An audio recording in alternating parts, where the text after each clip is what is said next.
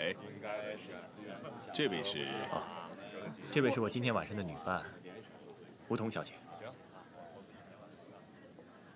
哦，原来是吴小姐啊！哈哈哈。哎，吴小姐，我们是不是？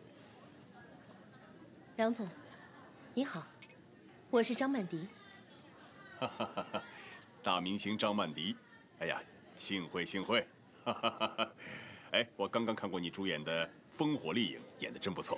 谢谢，我们那部影片反应特别好，哦所以在筹拍第二部，会有好莱坞的大导演来指导。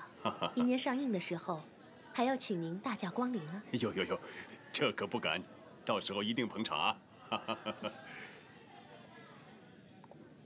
吴小姐，啊。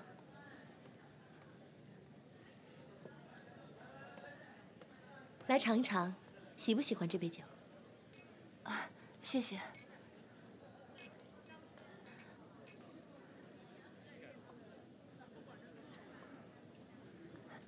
很甜。你要知道，这每一杯酒都是经过精心调配出来的，它们就像一个个故事，你需要懂得品尝，才能体会其中的滋味。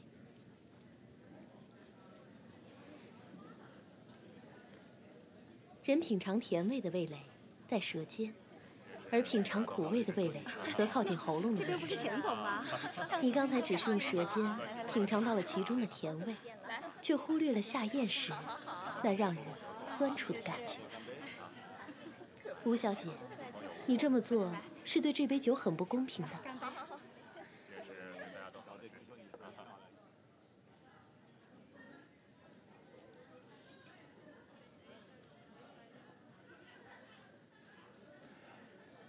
这杯酒似是浓情蜜意，其实暗藏苦涩。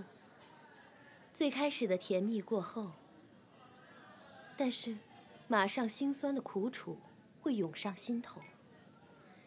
先甜后苦，一苦一甜，最终才能达到幸福的彼岸。吴小姐，你是第一次参加这样的场合吧？难怪，不过没关系。以后多出来见见世面，就慢慢懂得品酒了。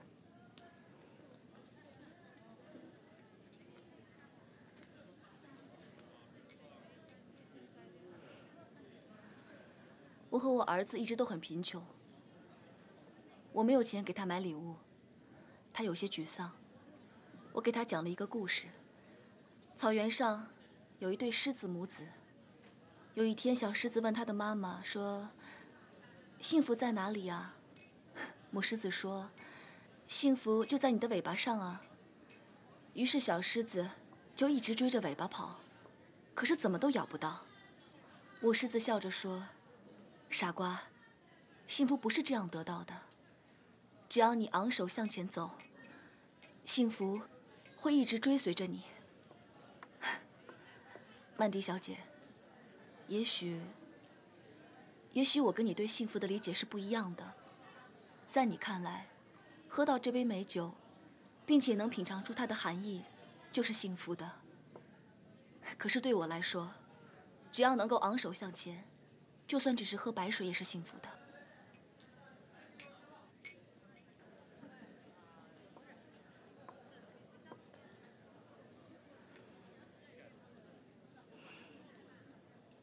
它真的很好喝。刚才你的表现真的很让我惊讶，是，真的吗？谢谢。真的，我都感觉脸上有光了。不至于吧？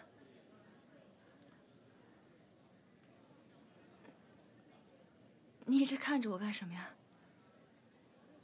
其实灰姑娘本来就是公主，可惜的是平时没有人给她穿水晶鞋。湘俊，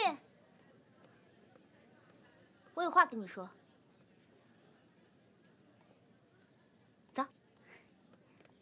来呀！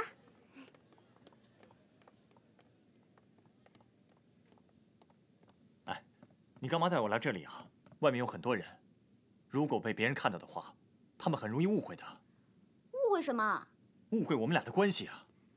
误会就误会了，反正我们俩的关系本来就不浅嘛。拜托，大小姐，你有没有搞错啊？